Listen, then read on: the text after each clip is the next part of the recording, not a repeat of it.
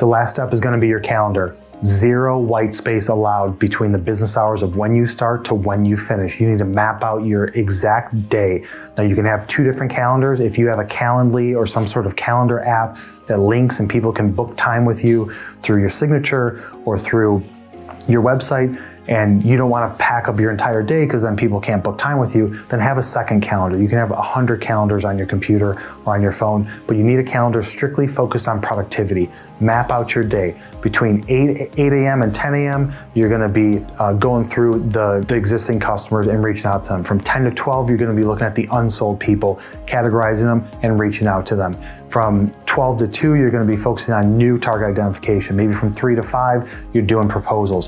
Whatever it is, however you want to break it up. You can even say, I'm going to do phone calls from this time, emails from that time. You have to plan out your day because any sort of white space, that boredom and not being busy is just going to make you lose track of what you're trying to do, dive back into complacency of just being like, yeah, it's fine you know, I'm, I'm not doing much or I'm not super busy. You need to be, you need to keep yourself busy and keep that energy high and that attitude positive. And the only way to do that is to book out your calendar. This is a way to organize your time so you never have a dull moment and you know exactly what you should be doing every single minute of those working hours of the day. Regardless of your skill set, regardless of your education, regardless of how long you've worked in the, in the industry, there's one thing that everybody has the same of, which is time. There's 24 hours in a day. It's not different from one person in one company or another salesperson that you work with. You are all equal. What you do within that time is what's going to make the difference between if you are good, great, or amazing.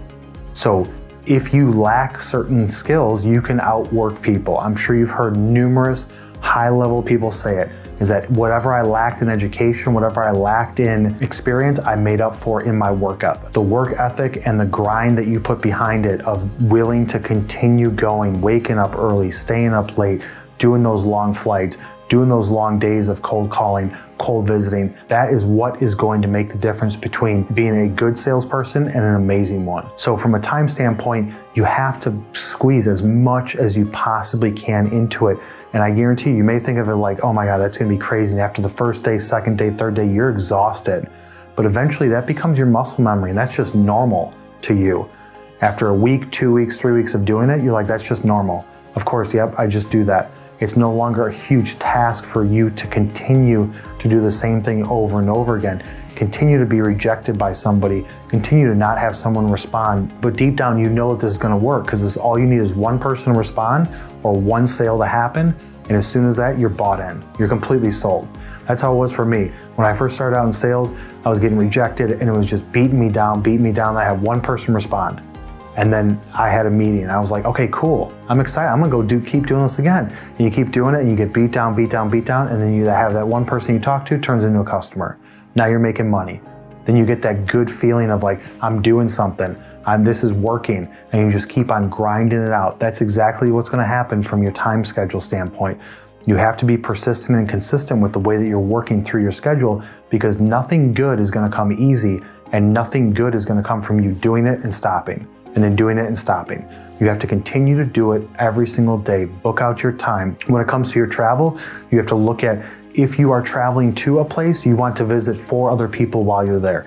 You got a meeting in the Midwest in Chicago, you got a meeting in New York with one customer, you're going there just to, to meet with them. You need to try and book as many people there as possible that you can. Now, there's ways to organize it. Now, you can go through your CRM system if you've got a CRM system, or the fastest way possible is I would export my prospects and my customers and I would put them into an Excel spreadsheet. So just export them from a system into Excel spreadsheet. I'm just looking for name and address. Then you Google search my maps. Not Google Maps, you're gonna Google search My Maps. And what you do is you log in and you can create your own map by uploading your contacts into the map and then puts a pin at every single location throughout your geographic area of where that person is. So if I know I'm going to a suburb of Atlanta, I can zoom into that map and say, hey, I've got 14 people that I'm trying to work with in this suburb. I'm gonna hit them all up while I'm in the neighborhood. Or I'm traveling to San Jose. There's six other people that are within 15 minutes, 20 minutes, 30 minutes. I'm gonna extend my trip by a day and go and try and hit all those people. It's all about time. A lot of times people are just going to one place, going to one meeting, going to visit one customer, one potential customer, and then going back to their house if they're working remotely, or going back to the, the company if they're working in the office. You have to look at it from a standpoint is I'm going to drive somewhere, I'm going to travel somewhere. How many other people can I see in that same amount of time? Or maybe if I extend it a minimal amount, 20% more time, 30% more time, how many more conversations can I have? Because you can go to visit one and end up having three other people that say, Yep, I want to quote with you. So look at that time schedule and pack it as much in as possible. And I promise it's going to be worth your effort to do it at that level.